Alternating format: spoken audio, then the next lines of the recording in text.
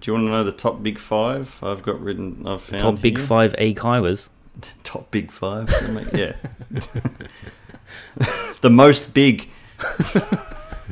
the most big schools. The big most. Number one. Oh, I don't know. This this is just uh, you know this. Anyway, this is what I've gotten written here. uh, number one. What do you think the biggest school is right now? This Hey, is Kyla. uh, yeah. This is a, a recent list, or you're looking at something from 1980. uh, ah, this is updated August. 20, uh, 20 uh, three years ago. Okay. Not, not that still. Anyway, I'll just tell you. Okay, number one. Is, actually, we'll start from number five.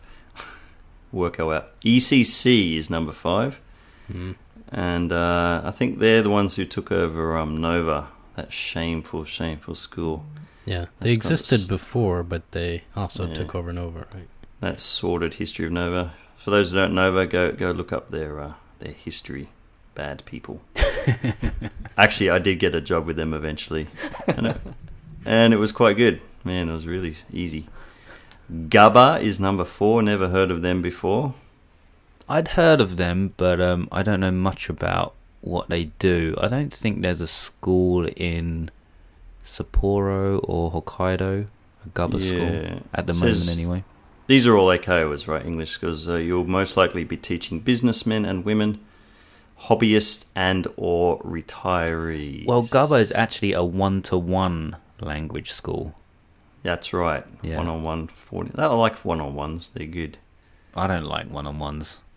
Too much work. You gotta be like, if you have a student that is kind of shy or introverted, which you experience that quite a lot in Japan, you gotta Yeah. do a lot of talking, man. It's you know, at at first, I remember I used to have a few students like that, and I used to try to ask them questions and get you know get something from them but it was such a struggle and in the end i just i stopped asking them questions and i just talk about myself for like an hour you know just like lecturing about my weekend and all my hobbies and stuff like that and and they actually seemed to quite enjoy that um I, I, I didn't know because you know they're so shy they wouldn't even tell me if they were having a bad lesson or not but They're it too- was uh, it was less stressful than trying to Yeah. you know get blood from a stone They were two years old, weren't they?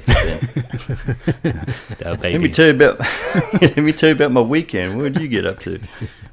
You shat yourself. Boring. Um, number th- number three. Of number three is AEON. There you go. Number Ah, three so it's is on your Eon. list. Yeah, Yeah, so not it's not on the not on the 2022 list. Oh shit. Okay. Mm. Pronounced Eon. Okay. Um, number two is Coco Juku. Communication competence.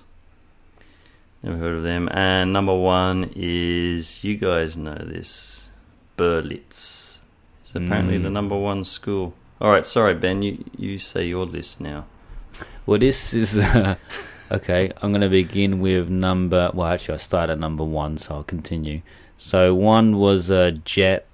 Uh, two was Ah. Interac. So this is a mix of But- uh, Eikaiwa and uh, ALT.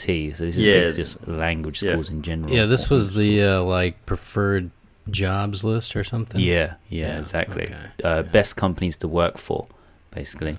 Uh, number three, Westgate, which I've uh, never really heard of, but it's uh, it's a company that specializes in people that want to teach at the university level. So kind of what I do, but I guess they're uh, they work as the middleman, so probably take a big cut. So um, I would recommend uh, trying to get a direct hire for a university Yeah. uh, rather than going through a middleman. But we'll, next next podcast, we are going to go through the whole, uh, like the whole school. What's the word I'm looking for, Burke? The whole uh, school process, uh, school not curriculum. So we're going through the different levels, right? Working at a kindergarten, working at an elementary school, junior high school, high school, and university, and we'll say which ones we think are the best because we've all kind of worked at, at one of those places at one time or another, haven't we? Yeah. Right, right. So yeah, so for now we're just gonna go briefly through how to get here, and then yeah, later on, as Matt said, we'll go into more details. So number four on this, this was uh, the JIEC program. Do you guys know about that? This is J uh, I E C. yeah, this program uh, hires teachers for uh, to work in Japanese kindergartens. So that's what they specialize in. Another- Japanese Japan is English communication. Is that what it stands for? It's a good question. Yeah, I don't know, but um, yeah, you need a I'm- bachelor's degree though. I'm just gonna say right now, man, a kindergarten that's a hard gig. Yeah. Haven't done that, but uh, I take your word for it. And uh, number five is uh, Nova on this list. Still going. Yeah, still going. Over 250 branches in the country. Uh, number six, GABA, which you mentioned before, Matt, the one-on-one uh, language lessons. Number seven, Benesse, Benesse, B-E Studio. How do you pronounce that? Benesse.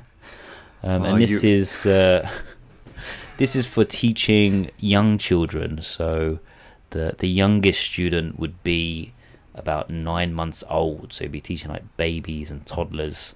Um, but average age is five to seven. So yeah, if you're looking for those kind of jobs, Benesse BE Studio. And then the final one, number eight, is uh, ECC, which is also in your list, Matt. Yeah. So those are the top eight uh, best companies to work for uh, to teach English in Japan.